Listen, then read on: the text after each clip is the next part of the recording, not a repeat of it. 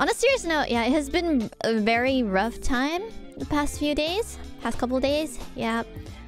So I know there's probably a lot, a lot to think about. Um, a lot, a lot of, a lot of people. I'm assuming are very sad and distressed for what's going on. Um, and of course, yes, it's not just you guys. I'm also pretty, you know, sad as well. And yeah, it gave me a lot to think about, for sure. I wanted to just, you know, um, say that I do appreciate all of you guys, and I'll continue as well as all the other members. We will all continue to, you know, work hard and do our best to bring at least some sort of some sort of light in darker times. Yes.